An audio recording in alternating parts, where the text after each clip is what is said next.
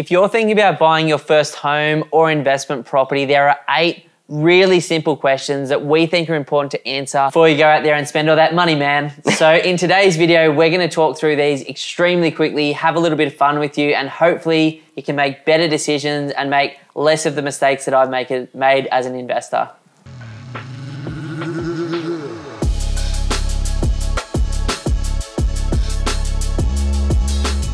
Buying an investment property is going to be hands down one of the biggest financial decisions that you and your family make throughout your entire life. So, the first question that you need to ask yourself is, why am I investing in real estate? And you need a clear answer to this question as well. I really like that question, man, because it perfectly leads into number two, which is, you know, to do with your vision. Where do you want to be 15 years from today? Now, if you don't know, which I didn't know when I was starting out either. It's as simple as what's your current annual salary today? Why don't we start by replacing that? So if you're on 100K, the goal 15 years from now should be 100,000 bucks a year of passive income through the properties you own. I love that because then there's more of a purpose to why you're buying that investment property and there's a plan that you're actually working toward in the future as opposed to just going out there and buying what you can. And then the third question is, you know, if you've landed on the answers for one and two, is, well, what is my next step? What do I need to do to make this goal a reality? And then focusing on exactly what that is, which might be to put in a budget and start saving that deposit. It might be going and communicating with your mortgage broker and your accountant to get all of your finances set up. It might be booking in a strategy session with a buyer's agent to learn more about the decision that you're about to make. Yeah, and then leading on from that, it can get even more granular like what market, you know, what market within that market, which capital city, what suburb, what type of house. And these are those questions that can make actually stepping into the market feel a lot easier. And instead of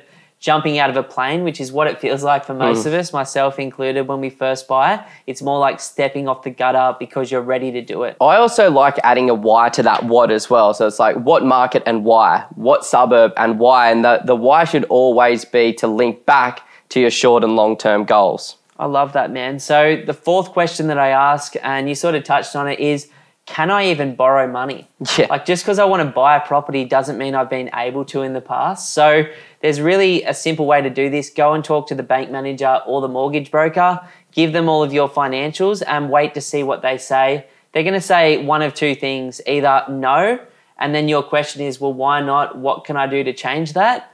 And that might mean saving, it might mean increasing your income, or yes, you can. Cool. What can I borrow? And is that enough for what you want to do? Or same question again to them, you know, what do I need to do to increase that? And then once you've got that feedback from the broker or the bank manager, you should know how much you can borrow, you should know how much you can purchase a house for. And then you're going to be looking at the market that you're going to be investing in. You're going to be looking at what states, which cities around Australia actually represent value in the current market because we don't want to be buying at the top of the cycle. You want to be buying as close to the bottom or the middle of the cycle as you possibly can.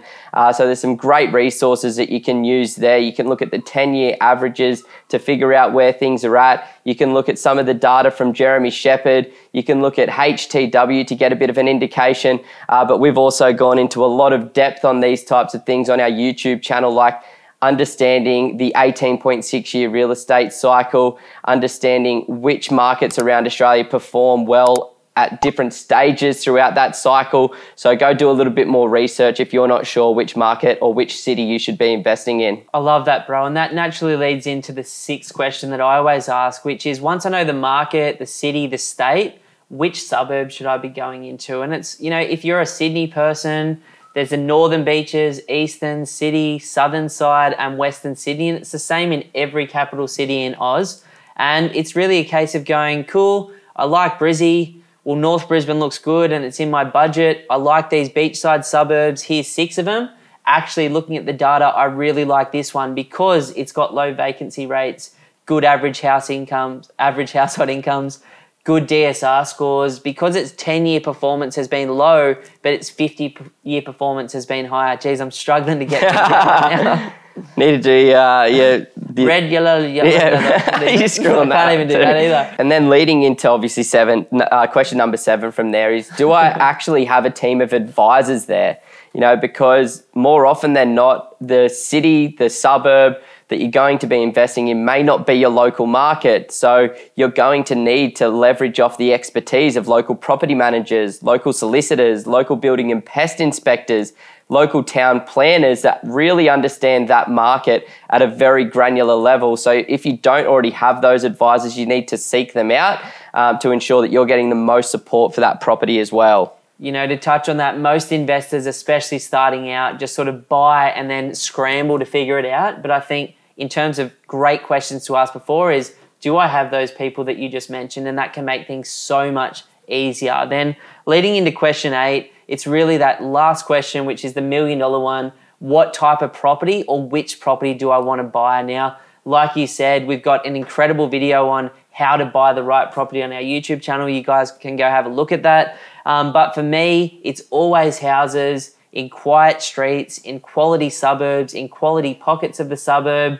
not on main roads, not near train lines, not on cemeteries, not on schools, not on the commercial or the industrial pockets of the suburbs. And just really the simple question is would I live there and raise my family in that street, in that pocket of that suburb, in that particular home? And I think that's a good gut feel. Now, we don't always have the budget to buy like that $2 million family home that you mentioned. So if you're starting at 500K, obviously you're going to have to make a few adjustments. But I think thinking with intuition as well as numbers can be a great place to answer that eighth question. Now, after asking and answering all of those eight questions, you should have a lot more clarity as to what you should be doing next so that we're not making just shoot from the hip cowboy decisions. We're actually making logical decisions based on logic, based on a really thoughtful process to actually understand where we should be spending our money for the biggest investment of our life. Now, if you're struggling to make these questions, or if you've answered all these questions and you still don't have the confidence that you need to enter into the market, then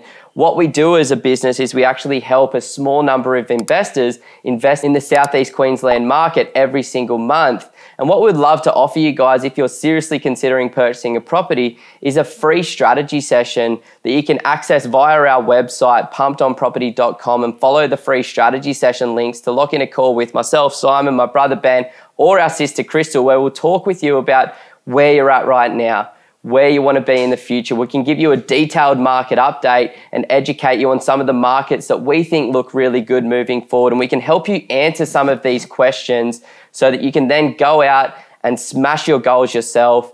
Or if you would like the support of our team, you can become one of the small number of people that we work with every single month. But either way, we want to see investors make smarter decisions and generate a better return on their investment. So hopefully, after answering these questions, you can go out there and do exactly that. Whew, that's a wrap. That's a wrap. Have cool, Yeah. Oh, sweaty. So sweaty.